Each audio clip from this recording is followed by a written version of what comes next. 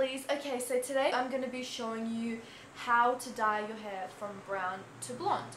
Now my hair is originally really disgusting and brown. Well not disgusting, but I really prefer blonde at the moment and I had a lot of friends asking me about how people should dye their hair. My friend once just dyed her hair and it became completely orange and she dyed it into like brown.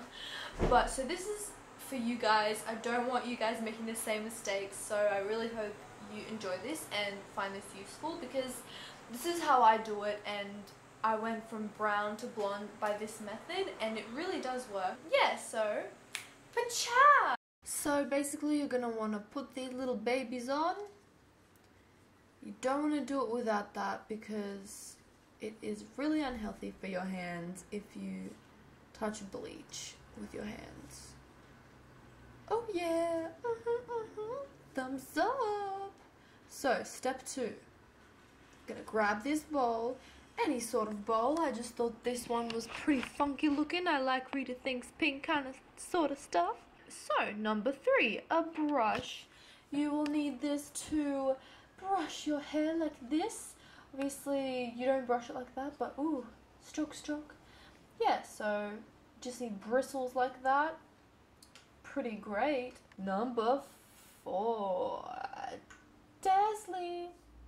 You need a 45 milliliter container to put your hair dye in, to mix it, to measure it, because you do need the right amount of hair dye. Number five. Okay, so this is the hair dye that you're going to use. Uh, so you buy this one at Priceline and there are different types of colors and I chose this one. Squeeze it all in, squeeze, squeeze, squeeze. Oh, that looks delicious. And then you take this cream developer thing, also you can get a Priceline. And I have the 40 volume, there's 30, there's 35, but I have 40 because, you know, I think this is the most, the best one that you can get. So, yeah, fill it up to 45, but then do it again for another 15. So that ups, adds up to 60 milliliters altogether. Step 7, you mix all of that stuff in, that beautiful, amazing stuff in. And voila, you have a potion of beauty and blondness. Woohoo! Ta-da! These are the results that you're going to get if you're going to use that kind of dye. Of course, when you go into Priceline, there are so many more blonder options. If you don't like this particular kind of shade, there are a little bit darker ones or maybe more natural ones or just anything for your particular preference. But I really, really like this one. So as you can see, by the way, I do this every single month because my roots go really bad. You can use the permanent kind of dye. Like, I really like the Schwarzkopf one. Um, also from Priceline. You can get it from other shops, but I just really, really like Priceline.